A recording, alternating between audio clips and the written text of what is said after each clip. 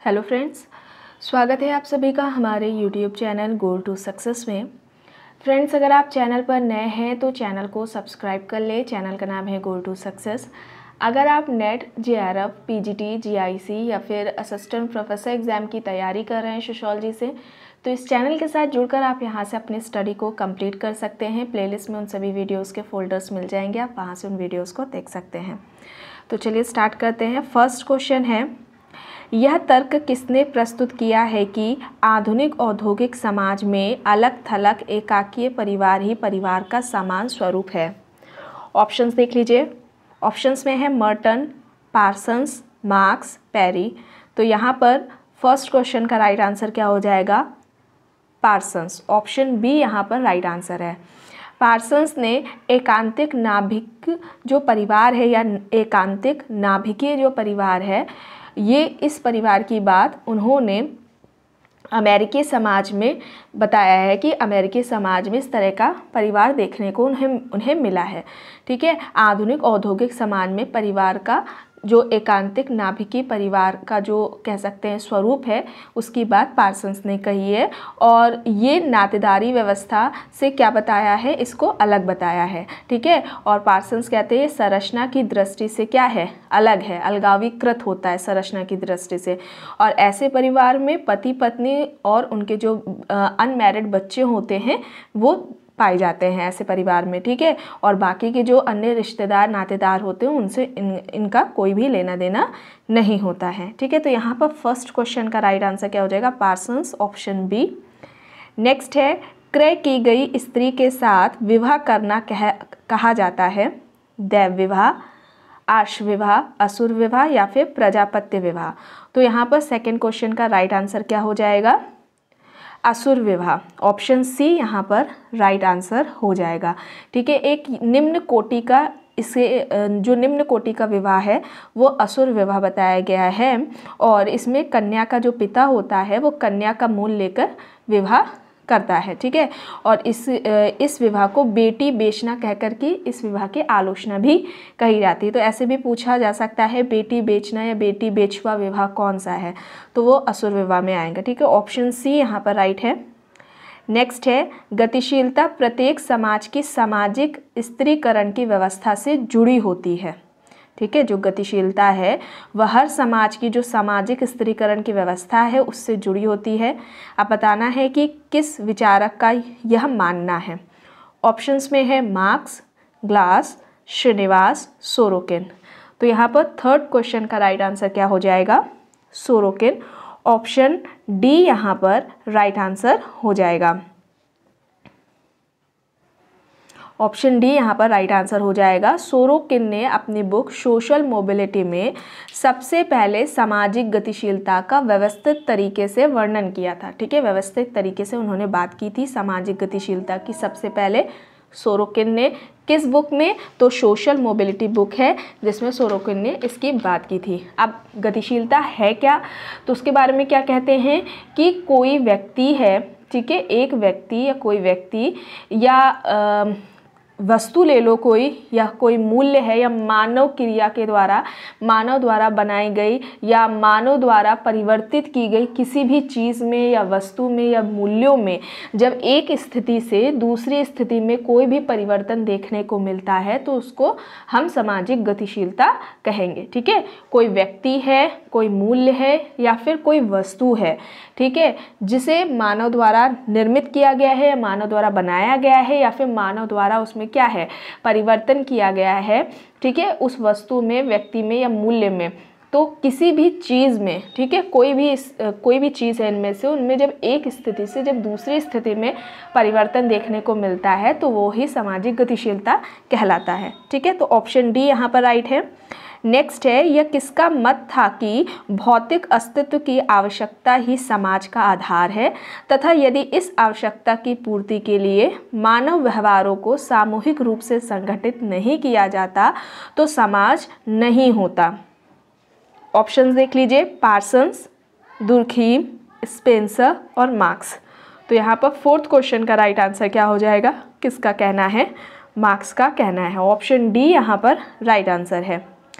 Next है यह किसका मत है कि समाजशास्त्र का मुख्य कार्य सामाजिक व्यवस्था में मूल्य उन्मेष के प्रतिमानों के संस्थाकरण का परीक्षण करना है? ऑप्शंस में है कॉम्ट दुर्खीम वेबर पार्सन्स तो फिफ्थ का यहाँ पर राइट आंसर क्या हो जाएगा? पार्सन्स ऑप्शन डी यहाँ पर राइट आंसर हो जाएगा। इनकी uh, कुछ इंपॉर्टेंट बुक्स हैं जैसे कि the structure of social action the structure of social action the social system ठीक है? सेकेंड कौन सी है? द सोशल सिस्टम थर्ड है social structure and personality social structure and personality ठीक है? The social system and the show the structure of social action तो ये कुछ इंपॉर्टेंट बुक्स थी पार्सन्स की। ऑप्शन डी यहाँ पर राइट है। नेक्स्ट है, किसने कहा है कि पश्चिमीकृत अभिजातों में वर्ग गठबंधन जाति गठबंधन की तुलना में अधिक महत्वपूर्ण है? ऑप्शंस देख लीजिए। M S Gore, S C Dube, Andre Beteille I P Desai. तो यहाँ पर सिक्स क्वेश्चन का राइट आंसर क्या हो जाएगा? आंद्रे बेते ऑप्शन सी यहाँ पर राइट आंसर है।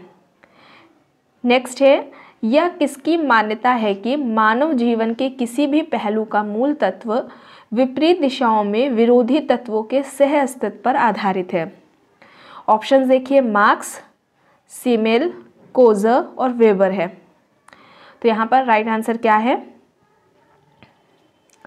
ऑप्शन बी सीमेल नेक्स्ट है कास्ट ओल्ड एंड न्यू के लेखक कौन है?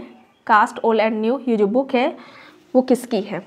ऑप्शंस पे हैं, Yogendra Singh, Andre Beteille A R Desai DP Mukherjee. तो यहाँ पर राइट आंसर क्या है? Caste old and new Andre Beteille की हो। ऑप्शन बी यहाँ पर राइट आंसर है। नेक्स्ट है, निम्न में से किसने कहा है कि सामाजिक सांस्कृतिक परिवर्तन के सिद्धांतकारों में किसने यह तथ्य प्रेक्षित किया है कि परिवर्तन बाह्य कारकों द्वारा समर्थन पाते हुए व्यवस्था के भीतर से घटित होता है? ठीक है, जो परिवर्तन है, वह बाह्य कारकों द्वारा समर्थन पाते हुए व्यवस्था के भीतर से घटित होता है। ऑप्शंस में है Pareto Spengler Toynbee and Sorokin तो यहाँ पर राइट आंसर क्या होगा?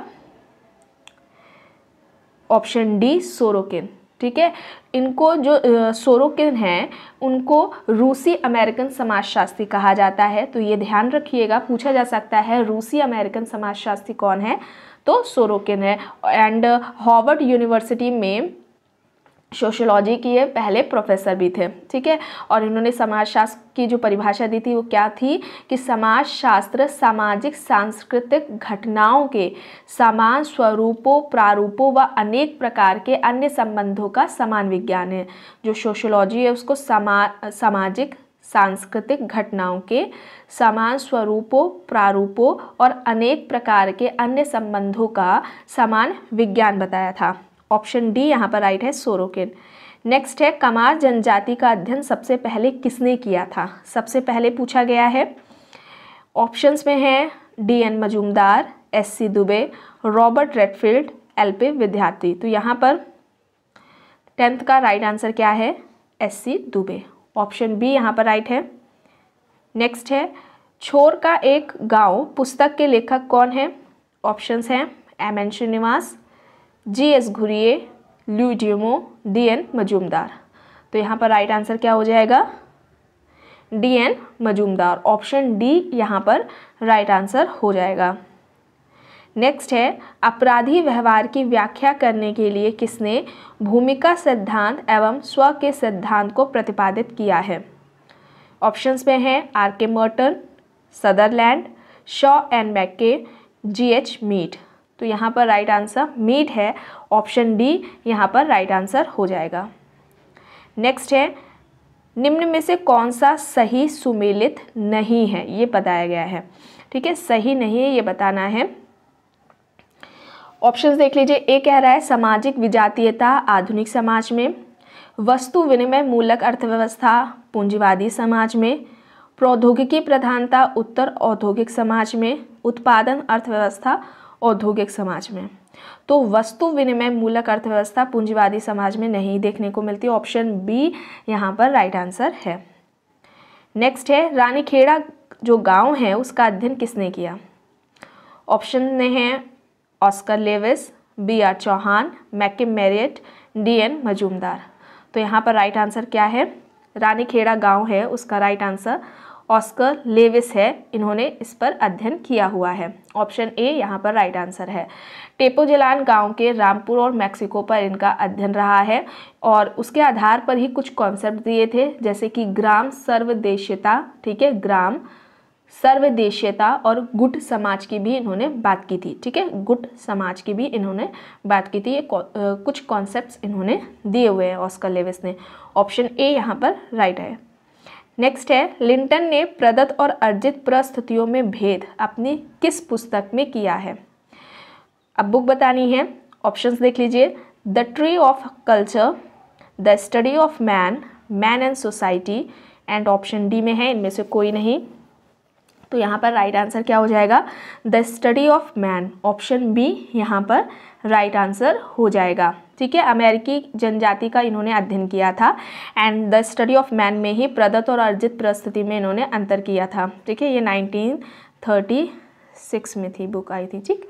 और इसके अलावा इनकी जो बुक है the cultural background of the cultural background and personality है, ठीक है? The cultural background and personality है द ट्री ऑफ़ कल्चर ये भी इन्हीं की ही है, ठीक है? लिंटन की ही बुक है तो ये भी ध्यान रखिएगा। ऑप्शन बी यहाँ पर राइट है। नेक्स्ट है, द्वैतिक समूहों को शीत जगत का नाम दिया है। ऑप्शंस है MacIver and Page Landis Ogburn and Nimkoff Cooley तो यहाँ पर राइट आंसर लैंडेंस हो जाएगा ऑप्शन बी यहाँ पर राइट आंसर हो जाएगा। नेक्स्ट है कोई शल्य चिकित्सक अपने मरीज़ के शत्रु के उकसाने पर उस मरीज़ के पेट में कैची छोड़ देता है। शल्य चिकित्सक की यह कृत्य, यानी कि ये जो क्रिया है, वो क्या कहलाएगी? तो ये श्वेतवसन अपराध कहलाएगा। ऑप्शन बी यहाँ पर राइट आंसर है। ये कॉन्सेप्ट किसका है? आप सभी जानते हैं सदरलैंड का है। सदरलैंड आधुनिक अपराध शास्त्र के जनक माने जाते हैं। ये भी आपको ध्यान रखना है। सदरलैंड आधुनिक अपराध शास्त्र के जनक माने जाते हैं और इनका क्या कहना था कि जो अपराध है, वह एक सीखा हुआ व्यवहार है। अपराध क्या है? एक सीखा हुआ व्यवहार है। किसने कहा है? सदरलैंड ने कहा है। ठीक है तो ये बातें भी आपको ध्यान रखनी है। ऑप्शन बी यहाँ पर राइट है। नेक्स्ट है, निम्नलिखित में से कौन सा एक आदिम अर्थव्यवस्था की विशेषता नहीं है? ऑप्शंस देख लीजिए। प्रौद्योगिक सहायता का पूर्ण अभाव वस्तु विनिमय का स्तर, जीवन निर्वाह का स्तर, लाभ प्राप्ति का स्तर। तो आदिम अर्थव्यवस्था की विशेषता नहीं है, ये पूछा गया है। तो यहाँ पर क्या होगा? राइट आंसर लाभ प्राप्ति का लक्ष्य। ऑप्शन डी यहाँ पर राइट आंसर है। नेक्स्ट है निम्न अवधारणाओं में से किस एक पर अगस्त कॉम्ट ने सामाजिक परिवर्तन के अध्ययन के लिए विशेष बल दिया है? सामाजिक परिवर्तन के अध्ययन के लिए विशेष ज़ोर दिया है। अब ऑप्शन देख लीजिए। प्रत्यक्षवाद, विज्ञानों का संस्करण, सामाजिक प्रगति और सामाजिक व्यवस्था। तो यहाँ पर राइट आंसर क्या हो जाएगा? प्रत्यक्षवाद हो जाएगा। ऑप्शन ए यहाँ पर राइट आंसर हो जाएगा। नेक्स्ट है जे हट्टन के अनुसार भारतवर्ष की प्राचीनतम प्रजाति थी। Nordic, Negrito, Mongoloid, Proto Australoid. तो हट्टन के अनुसार पूछा गया है, ठीक है? तो प्रोटो ऑस्ट्रेलाइड, ऑप्शन डी यहाँ पर राइट आंसर हो जाएगा। नेक्स्ट है शिव समुद्रम प्रपात किस नदी पर है? कृष्णा पेरियार कावेरी, मांडवी नदी। तो यहाँ पर राइट आंसर क्या हो जाएगा? कावेरी नदी। ऑप्शन सी यहाँ पर राइट आंसर है। ये कर्नाटक में नदी है, ठीक है? और ये जो जलप्रपात है वह आयतन की दृष्टि से भारत में सबसे बड़ा जलप्रपात है, ठीक है? यह जो जलप्रपात है, शिव समुद्रम, ये आयतन की दृष्टि से भारत का सबसे बड़ा जलप्रपात है। और कावेरी नदी कहाँ है? ये कहाँ पर है? ये देखने को मिलेगा आपका। जलप्रपात शिव समुद्रम, कर्नाटक में। ऑप्शन सी यहाँ पर राइट आंसर है। नेक्स्ट है क्योटो प्रोटोकॉल किससे संबंधित है? ऑप्शंस में है ओजोन अवशय खतरनाक अपशिष्ट, जलवायु परिवर्तन, नाभिकीय ऊर्जा। तो यहाँ पर राइट आंसर क्या हो जाएगा? जलवायु परिवर्तन। ऑप्शन सी यहाँ पर राइट आंसर हो जाएगा। क्योटो प्रोटोकॉल एक अंतर्राष्ट्रीय संधि या अंतर्राष्ट्रीय समझौता है, ठीक है? जिसे कि औद्योगिक देशों के द्वारा जो ग्रीन हाउस गैस थी उसके उत्सर्जन पर यह प्रोटोकॉल प्रतिबंध लगाता है, ठीक है?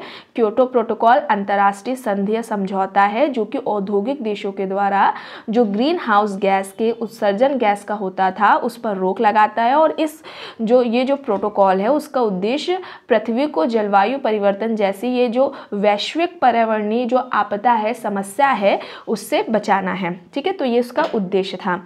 ऑप्शन सी यहाँ पर राइट है। नेक्स्ट है, निम्न में से ग्रीन हाउस गैसों में कौन सी वायुमंडल में लघुतम समय तक ठहर पाती है?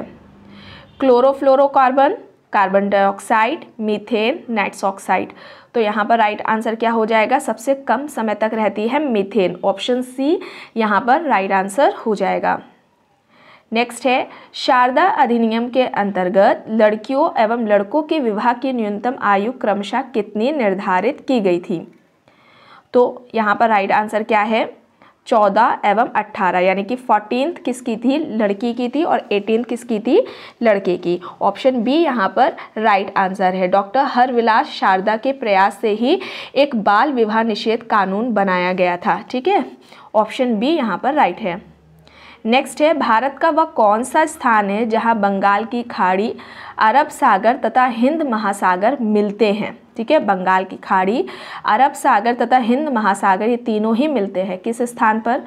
कन्याकुमारी, इंदिरा पॉइंट, नागरकोइल या फिर रामेश्वरम? तो यहाँ पर राइट आंसर क्या हो जाएगा? कन्याकुमारी। ऑप्शन ए यहाँ पर राइट आंसर हो जाएगा। ये कहाँ है? तमिलनाडु में है और प्रायद्वीपीय भारत के अंतिम छोर पर ये है। ठीक है, प्रायद्वीपीय भारत के अंतिम छोर पर है। ऑप्शन ए यहाँ पर राइट आंसर है। नेक्स्ट है, भारतीय संविधान की प्रस्तावना में निम्न में से किस स्वतंत्रता का वर्णन नहीं किया गया है? विचार की स्वतंत्रता, विचार प्रकट करने की स्वतंत्रता, विश्वास की स्वतंत्रता, आर्थिक स्वतंत्रता। तो यहाँ पर आर्थिक स्वतंत्रता की बात नहीं की गई है। ऑप्शन डी यहाँ पर राइट आंसर है। ठीक है? सामाजिक, राजनीतिक, न्याय, विचार, अभिव्यक्ति, विश्वास की, धर्म और उपासना की स्वतंत्रता की बात की गई है, लेकिन आर्थिक स्वतंत्रता की बात नहीं की गई है। ऑप्शन डी यहाँ पर राइट है। नेक्स्ट है, निम्न में से किसके द्वारा संपत्ति के मूल अधिकार का लोप कर दिया गया यानी अंत कर दिया गया है? तो कौन सा जो संविधान का संशोधन हुआ था, उसके द्वारा, ठीक है, ये बताना है। तो यहाँ पर चौवालीसवा जो संविधान संशोधन हुआ था उसके द्वारा हुआ था। ऑप्शन सी यहाँ पर राइट right आंसर है। ठीक है, ये हुआ कब था? 1978 में अधिनियम, ठीक है?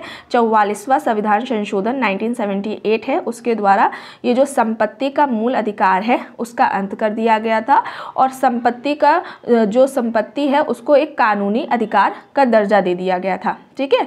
कानूनी अधिकार का इसे दर्जा दे दिया गया। तो ऑप्शन सी यहाँ पर राइट right है। नेक्स्ट है संविधान की व्याख्या करने का अंतिम अधिकार किसे है? व्याख्या करने का अधिकार पूछा गया, अंतिम अधिकार किसे है? ऑप्शंस में है राष्ट्रपति, लोकसभा अध्यक्ष, सर्वोच्च न्यायालय, प्रधानमंत्री। तो यहाँ पर राइट आंसर क्या होगा? सर्वोच्च न्यायालय। ऑप्शन सी यहाँ पर राइट आंसर होगा। सर्वोच्च न्यायालय को संविधान का संरक्षक बताया गया है। ऑप्शन सी यहाँ पर राइट है। नेक्स्ट है, ज्ञान की वृद्धि करने के लिए मानव जाति द्वारा प्रयुक्त नवीनतम रणनीति है। प्राधिकृत ज्ञान रखने वाले से परामर्श, निगमनात्मक तर्क, वैज्ञानिक चिंतन या फिर आगमनात्मक तर्क। तो यहाँ पर क्या होगा राइट आंसर वैज्ञानिक चिंतन। ऑप्शन सी यहाँ पर राइट आंसर है। नेक्स्ट है, शोध है। ऑप्शंस देखिए बार बार खोज करना, किसी समस्या का समाधान ढूंढना किसी समस्या के संबंध में वैज्ञानिक ढंग से सत्य को ढूँढने के लिए कार्य करना या फिर उपयुक्त में से कोई नहीं।